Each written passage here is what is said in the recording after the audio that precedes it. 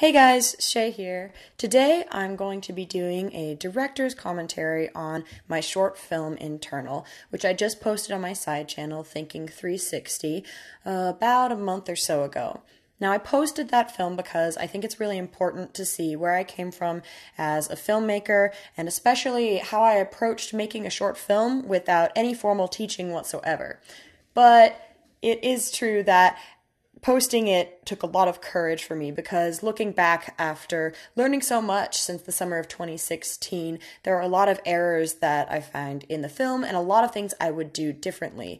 Namely, I would not cast myself in the film because I have no formal training as an actor and particularly don't find myself to be very adept at it. So we'll get that commentary out of the way before we even start. But yeah, so I just really want to do a commentary and take you guys through the film, tell you what I would do differently if I were to shoot it again, some of the things that went on behind the scenes that complicated aspects of it, and just give you uh, insight into that whole process. All right, here we go.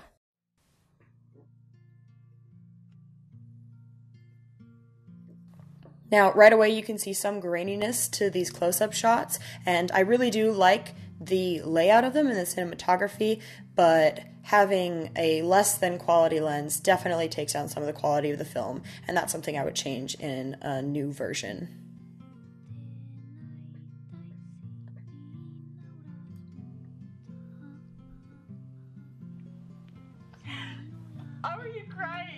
Now, these first shots of the dialogue are very much blown out with their lighting, and I would also change things like that. I had learned nothing about lighting at the time, however.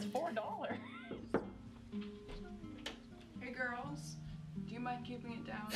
Now, see, this is fun. This is actually one of my older brother's friends who I contacted very last minute and asked if she would be willing to do this. So, pausing it right here. She is actually, I mean, like 24, 25, uh, but she's supposed to be playing someone much older, so I told her to try to dress older, maybe not wear makeup, you know, all of those classic things that we assign with older age. But it was really sweet of her to be able to do that.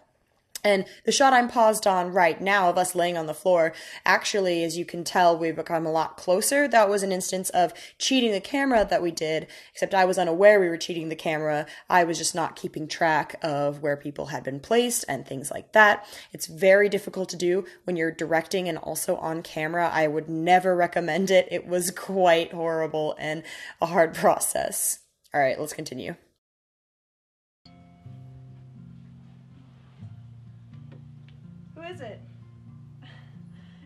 Gonna be my roommate. Oh my gosh, yes!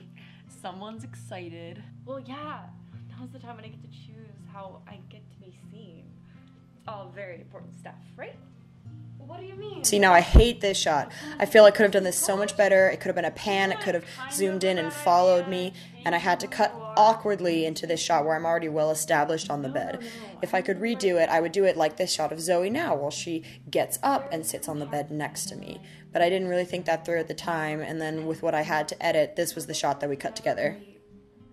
We're up front in high school, and in college, I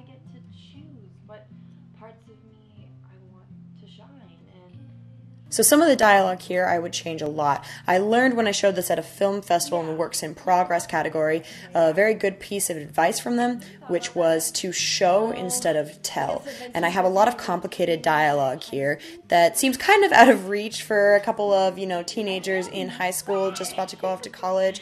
you jerk.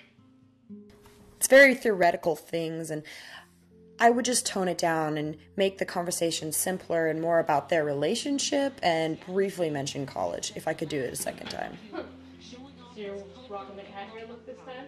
you know, I probably should get a lint roller. Now, with this scene, I would place a microphone right next to the moms talking so that you could make out more clearly what they're saying. It became a lot harder to hear as I was editing than I thought it was during the recording process. Another failure from not being behind the camera itself. Yeah.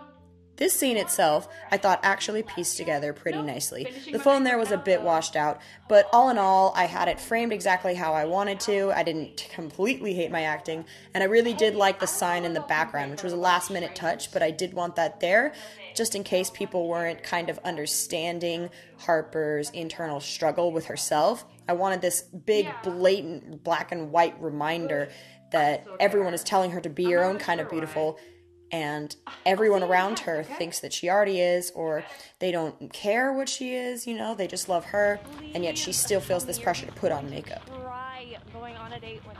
Now this scene was really difficult. Here we have our cameraman backing up with a boom pole attached with another person and everyone is walking backwards and nothing is on any sort of rail or anything. it's just all handheld. I am surprised with how smooth it came out and i do like the idea of incorporating of incorporating the movement and that I was able to do that without really learning those techniques before. But I think some is missing from it. And I definitely think that there's a lot of feedback still from the ground and from the wind. And so I would definitely record this with a better mic or maybe even go back over it in sound afterwards. See how you want to Okay. Another thing with all of these transitions is they're quite fast. I was making this for a portfolio to apply to film school, and it had to be under 10 minutes. Initially, this film was 15 minutes long. That joke was actually one of my favorite parts of the entire movie because it just really hit home and it seemed so genuine, and a lot of people seemed to like it too. Why is it your favorite? Oh, I just think the now here again, you can tell that the lens is not so good. There's a lot of feedback. I really wish that I had brought lights with us, but I didn't really have a generator or anything at the time to do that. Because right here, you can't even really see the kiss, something that's so pivotal to Harper's experience. So if I could reshoot this, I would do a lot more lighting. That being said, I would also line up the shots where it goes between the boy and the girl here, Harper's love interests. I would line them up better and frame them correctly. I do think those last two shots there of Harper seeing her friend instead of this boy she's on the date with work really well, however. I don't know, um, I just saw Here's where we get into the part where I dislike my acting, and a lot of people have told me it's not that bad, but I really don't think I did Harper's character justice. I think the boy is doing a phenomenal job. Meanwhile, my emotions are quite over the top and dramatic because I didn't really know what I was doing. This shot also has quite a bit of headroom for Harper. You don't need to explain anything else to me. But if you were this is once again where we get more into the show instead of tell aspect, because the date is talking a lot and really trying to reassure her. But in this situation, an average high school boy probably wouldn't be able to be this eloquent.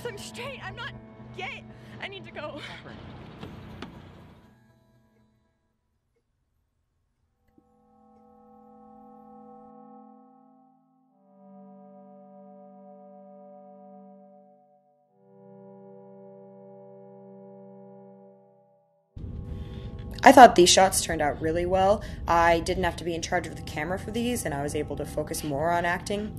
Fun fact I put sort of a vapor rub under my eyes here so that I would cry, and it worked so well I was genuinely crying the rest of the night, even after we had finished filming, for a couple of hours. So maybe don't do that. I was on a budget. There are fake tears and things that work better and are safer for you, so. And it did burn under my eyes a little bit.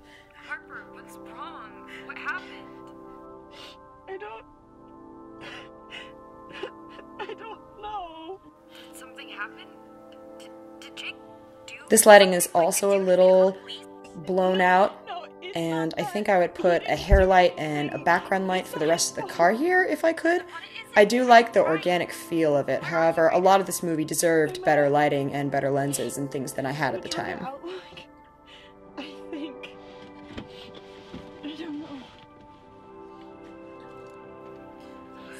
That shot, for example, it's very dark. I would have liked a lot more lighting. I also completely crossed the 180 rule here and don't pay it any mind because I also didn't know it existed. So I would probably do a pan around or I would just start the shot from this angle instead of starting with Harper getting out of the car from the back. But when I was going back through the footage, we didn't have the shot of me getting out of the car at this angle, so we had to go the other way. And that's the sort of thing that happens when you're making a film. You just kind of have to make sacrifices and hope that people will still be able to follow along. Also, side note, my eyebrows are like really intense here, and I probably could have toned them down. Now, this shot was thrown in for time because I wanted to be able to transition to the close up, but I couldn't find a good way to do it. So, some people mentioned that it seemed kind of out of place to have those lights and that bokeh there, and that would be because I didn't have anything. So, good on them. I do, however, really like this shot, and I like how my feet eventually start to leave the light, kind of as in leaving the hope behind, and that it's focused on the phone itself. This shot as well, I thought, was just beautiful.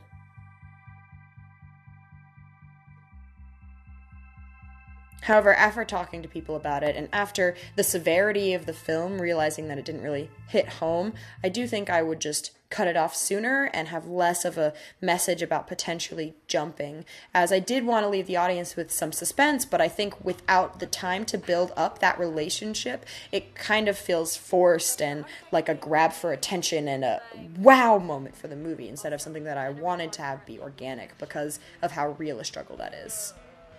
The audio here also changes, and that's because our original audio was completely useless. So I had to take phone audio and try to make it work and make it sound like it was organic and in the moment and add background noises and wind and park things, stuff like that. And it's quite noticeable. I think some of it's actually better than other parts of just the film itself because it is, you know, recorded after the fact but I do hate that it's such a blaringly obvious change from 75% of the film to 25% is in this completely different sound tone and things like that. I also would cut out entirely Harper's monologue about looking up at the stars and or make it much more simple because it's very lofty um, speech for an 18 year old. See, right here where we're laughing about Perks being a wallflower feels much more organic, and I feel like I would want to write it more along those lines.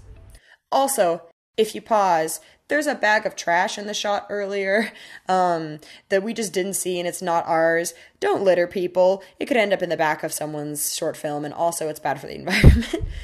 oh, and before I unpause, I would also like to say I would definitely uh, not shoot at high noon as we did with this shot because the sun is way too bright. There's a reason that everybody shoots on cloudy days or indoors, and it's because everything is blown out and it's quite unattractive. The car looks like it's on fire, and yeah, so that's another thing that I would do differently if I were to make this another time. And that last line was actually a line that we had to cut from earlier, where I was coming out of the bath, where where Harper was coming out of the bathroom and asking her friend why you why she decided to lay down on the cold hard floor instead of in the bed that was so close. And so we decided to fade that line out at the end because it's her friend retorting at the end of the film saying, Why did you lay down so far from the nice warm car? And I kind of wish we had kept that in because I thought those felt organic and, you know, cute and sweet and with the moment. But for sake of time, we couldn't. And yes, my friend Jake, uh, that is not his name, but that was his character's name, wanted to be left anonymous. And that's something I would also change about the film. That has something to do with, you know, potential job seeing it and things like that, and personal reasons that our actor had. And so I think next time around, I would either cast someone that would be comfortable being in the credits or yeah, I think that's what I would do because I honestly the whole point of this film was to not cater towards what society kind of says and does and in a way of someone staying anonymous because they don't want to be associated with gay content, it does anyway. So I think that I would cast someone else if I had the opportunity. Not that I didn't love working with my friend and I'm so grateful that he was willing to do that, but I think I would rather just have the whole cast be willing to be open about the experience and, you know, want to be associated with the film as you know, uh, novice and beginner as it might be. All right, well, that's internal. Thank you guys so much for listening. I hope you found some of this feedback helpful if parts of the movie felt odd, but you weren't sure why. And I would love to hear anything I missed in the comments. Please tell me if there is anything else about the film that you think could improve. I'm always looking to improve. I'm shooting a short film soon. And yeah, it'd just be really helpful. All right, peace out, guys. Love ya. Love ya.